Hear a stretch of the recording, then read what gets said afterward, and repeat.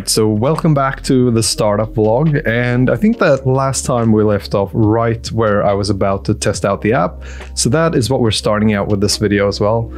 And uh, I have to say, the app worked really well. There were some bugs in the app, like the percentages not updating properly, and some of the other things that I added last minute before the workout that just didn't work. But overall, I was actually able to track my workout very well. And I'm really happy with where we're at with the app so far. And also, the workout went really well.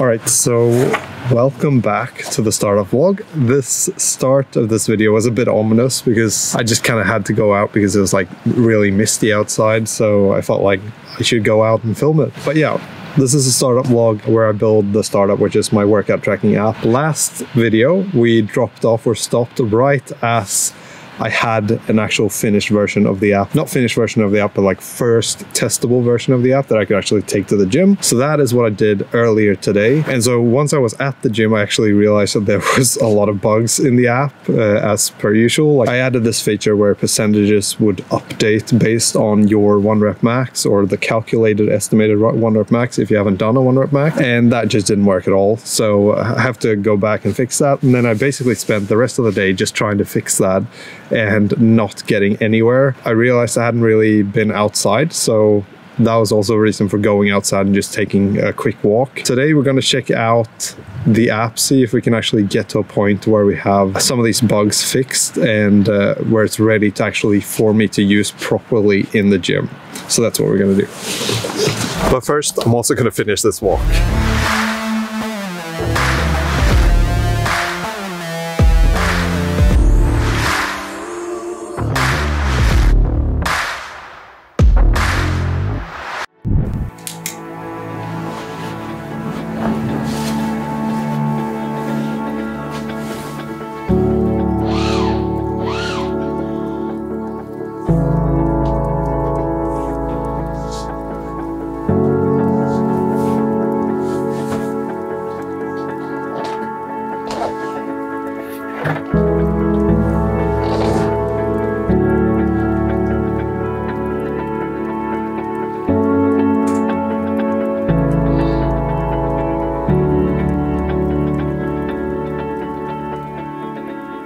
All right, so I thought I'd just do some quick progress update on where we're at with the app right now. This is what it looks like when you start it up. And I've done a couple things since last time you saw the app. Basically what I've done is I've done added this thing where when you open up the app for the first time, it asks you to start a new workout or start an existing one. So these are ones that I've saved as templates. So you can either just start a new one, which will get us to this place, and up here we have a totals card, which basically sets, says what the totals are for the entire workout. So what we can do here is very similar to what we've already been able to do.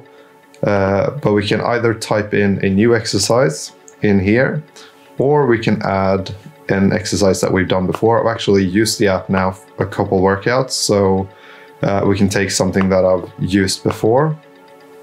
Let's say that we actually take um, barbell shoulder press and we add that. Then we see what we did last time. So last time I did 10 reps and one set at 20 kilos.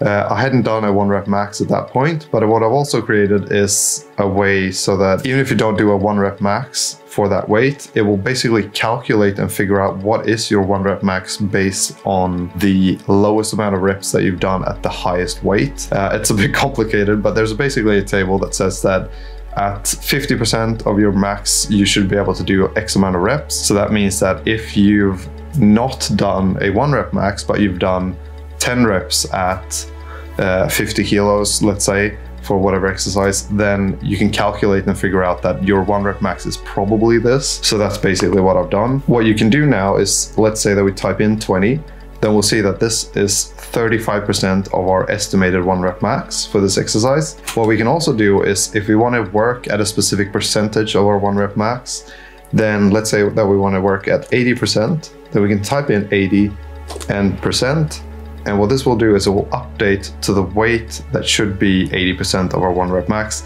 Uh, as you see here, it basically says 100% on the side here, which is a bug. I'm not sure why that happens, but there are lots of these minor bugs in the app that I'm trying to figure out. Also, this thing, like that was completely blank just before because uh, it doesn't update the way that I want it to. But now if we type in 12 reps and one set, then we'll get up here a total for what we've done here. So one set, 12 reps, blah, blah, blah, and how many exercises we've done.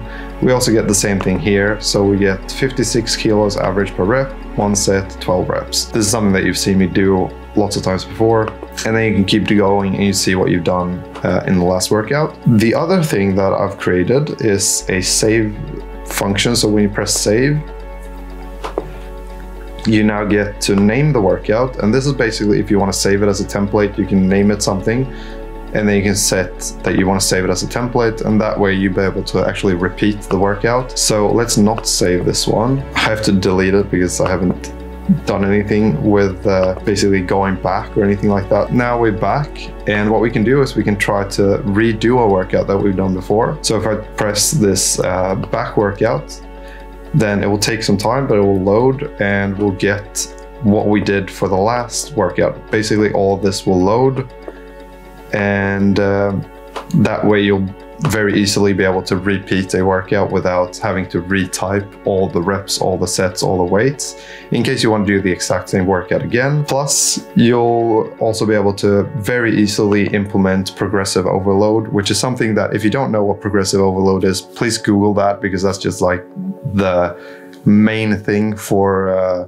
increasing both strength and just muscle mass in the gym. If you understand progressive overload, then you'll be able to get bigger and stronger in the gym. That's the main thing. And since I think that we're programmers here, so you're probably used to Googling things that you don't understand and figuring out what they mean. So progressive overload, hot tip, just Google that. This is where we're at with the app right now. We can repeat workouts, we can save workouts as templates, and we can uh, get the percentages of the exercises. Uh, there are some bugs that I need to fix, but right now what I want to do is I want to actually get started on the next thing for this app, which is to show some sort of progress progression for your maxes and also for the volume for the workout. So I want to be able to see how much have I done for this workout and I want to be able to see sort of bar chart of like this week you did this many reps or last week you did that many reps and like a progression uh, if that makes sense. But first i have to design that and uh, come up with a way to make that look really good. So that's what we're going to start with so this is also me just avoiding working on the login screen because I don't really know how difficult that's going to be and my last experience with creating a login screen left me pretty confused. So now my mind just keeps thinking that it's a lot bigger of a task or an obstacle than it actually is. So I just keep postponing starting it, which I really shouldn't. I really should just set that up though so that I can start looking for beta testers, which would be super exciting, and so that we can make sure that you can sign in securely. Also, if you're like me and you're running a business and want some tips for keeping it secure online, go check out today's video sponsor Cybersecurity on a Budget by Kaspersky, which is a free platform that provides easy to follow security tips for your day-to-day -day work or business. And cybersecurity is super important and it's something that I've neglected a lot in the past, but ever since making the video about how to become invisible online, I've started implementing a lot more cybersecurity measures like storing backup copies of important files, creating long and complicated passwords, and enabling two-factor authentication because that means that even if someone cracks my password, they still won't be able to access all my stuff. At least not that easily. If you have any stories regarding cybersecurity, just please share it in the comments. It's always good to share these experiences because it can help someone else steer clear of running into the same issue. So make sure to check the comments for tips and you can also go to Cybersecurity on a Budget's website to get some free and effective cybersecurity tips in just a 5 minute read. Use the link in the video description or the QR code right here to learn how to prevent such risks and protect you or your business from the latest breed of cyber threats.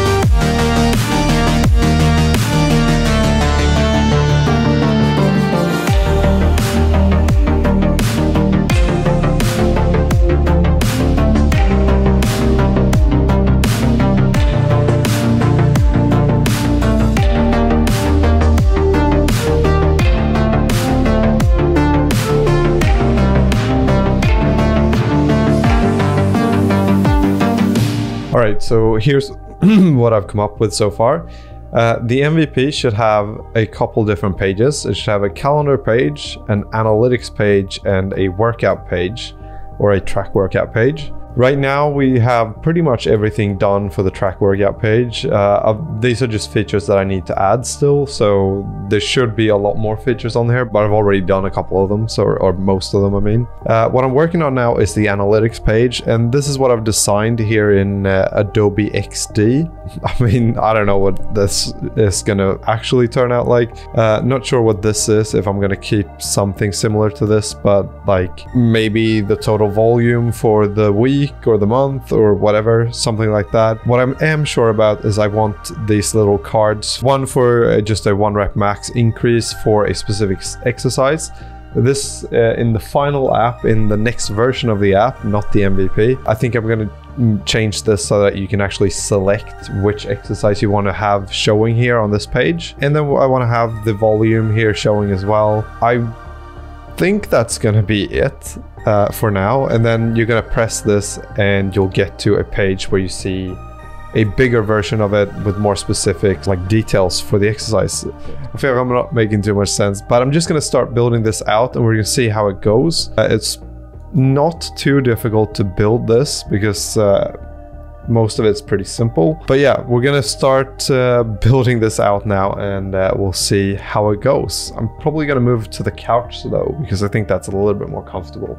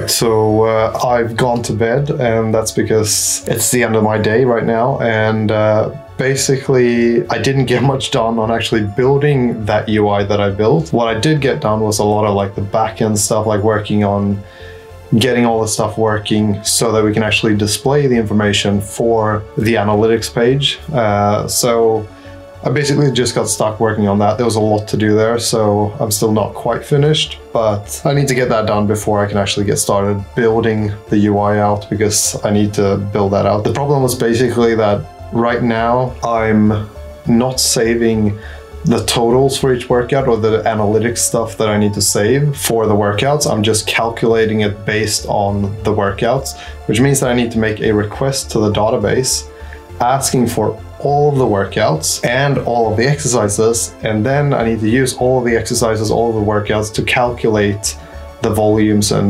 different things, which is probably more efficient if I just save a value for the for each workout that has the total reps because that means that I don't need to get all the workouts plus all the exercises. I just need to get all the workouts. So that's going to be a little bit faster.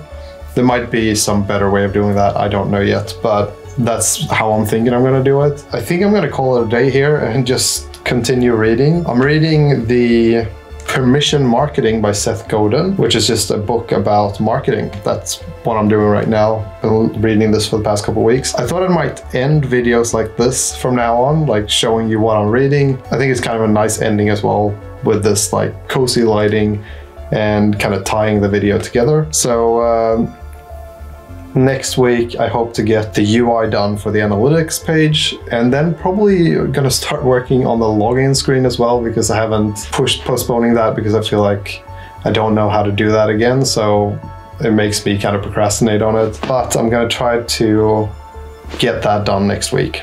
So see you next week. Good night.